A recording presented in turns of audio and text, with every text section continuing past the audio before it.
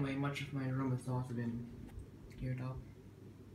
As you can see, this shelf, which had all these decorations and books and boxes, I think, has has been partially emptied. Stuff down here still about to be back. And by the way, guys, I also replaced the Zonglian fan that was here before in the video that I made earlier with the Bosch G because it turns out that but it turns out it did it did want the weak fan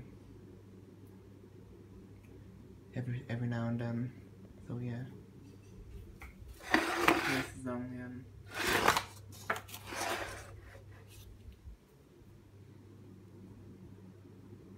And I'm actually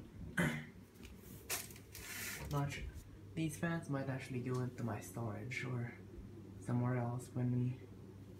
move into the new house because in my new house I don't have all these shelves and everything like that. My room is just my room is not like doesn't have all this stuff.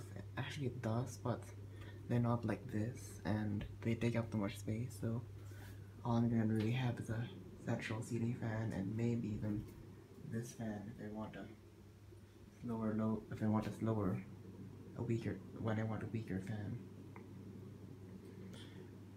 But actually I'm still trying to persuade my parents to get me to put this to get me put to get me to put either this one or the Zonglian on top of the stairs.